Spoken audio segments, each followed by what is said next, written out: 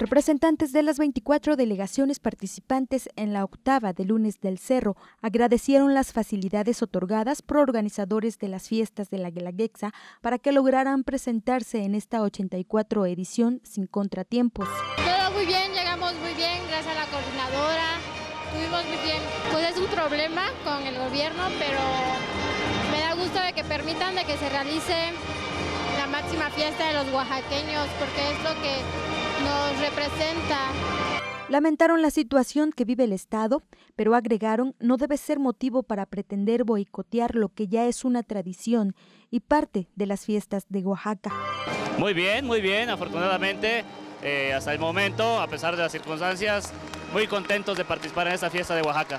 Eh, llegamos a muy buena hora, eh, como siempre, nuestro atuendo, nuestro penacho que es lo más vistoso, todo norte y tranquilo manifestaron que era muy importante que las delegaciones lograran llegar otra vez a la capital para demostrar a México y al mundo que el Estado también es calidez y un destino donde confluyen civilizaciones milenarias, arquitectura colonial y tradiciones vivas. Mucha emoción y un gran gusto por participar en la fiesta de todos. Pues es parte de, de toda la situación que está viviendo nuestro estado, pero pues creo que todo puede suceder si se hace de manera ordenada.